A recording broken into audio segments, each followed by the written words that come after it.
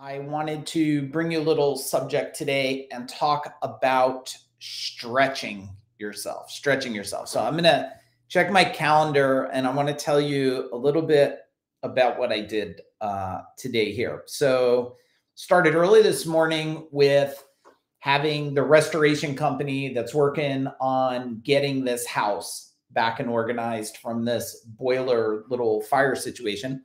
That started first thing in the morning. And then I wanted to see if I could stretch myself on speaking and being able to do a whole bunch of talks in one day and see how many people I would be able to impact in this period of time. So that started at 11:30. So 11:30 to 12:30 I was on a really really great podcast. It was super fun. We talked about you're going to want to listen to this podcast. We talked about all kinds of amazing stuff about life and mindset and shifting and change and progress. And then from there, I went on at one o'clock and I did a talk to a friend of mine's group of a whole bunch of people.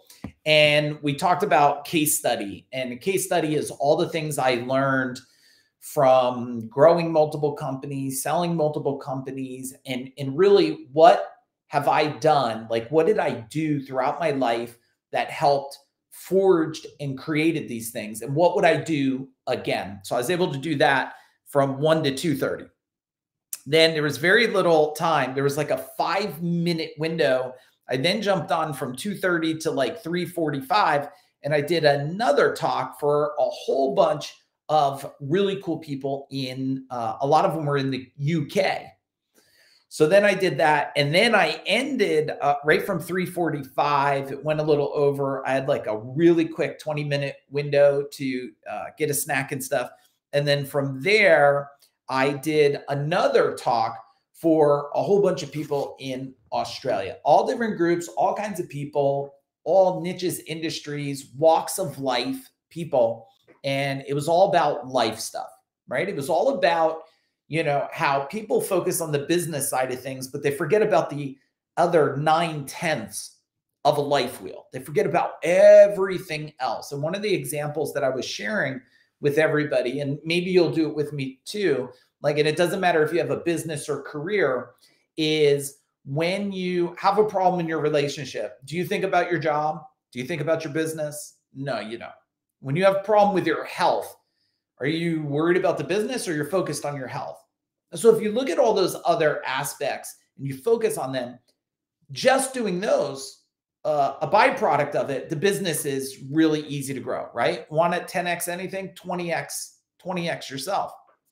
And so, but my message today was like, where, like, how are you stretching yourself? You know? And when I look at stretching, I look at the ability, it's almost like lifting weight, right? Like when you start lifting weights, how does how does muscle build? Muscle builds because you got to tear it a little bit. Now you want to tear it, you don't want to rip it, right? Like if you rip a muscle, now the thing is just fatigued, it's broken, and you got to like get it all fixed up. Now, if you just get the little little tears in it, then what happens is it grows and it grows stronger. So, my question is where are you backing off a little too soon and not letting yourself just tear those things a little bit, stretch yourself a little bit so the muscles can carry you forward further? But let me teach you one of the lessons that I was talking about today. And a lot of people talk about consistency. And you've heard this before, right? You got to be consistent. You got to be consistent. And what I want you to think about is not consistency as doing the same thing. Because let's go back to the weight analogy. Okay. Now, if we take a 10 pound weight, okay, so you're like, Mike, you could at least do 25. Okay, a 25 pound weight, and you put it in your hands and you start lifting a 25 pound weight. Eventually, the 25 pound weight, you're going to be very consistent. It's going to get easier. My question is, if I keep lifting the 25 pound weight, will my muscle grow like, like, will it grow this big or this? Like, how big does it grow? Well, there's a point it won't grow no more. But I've been very consistent with it, right? I'm consistent with 25 pounds, 25 pounds.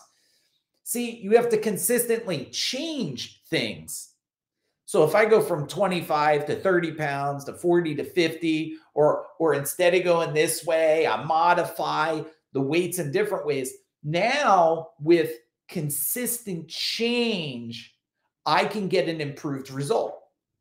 It's always interesting to me how many people share these concepts of things. And, and when you think about it, they're telling you one thing, but the one thing they're telling you is not really the thing you need. It's it's not the thing that's really going to get you to change. But because the masses are saying it to you, you go, well, it it it must be correct because the masses are saying it to me.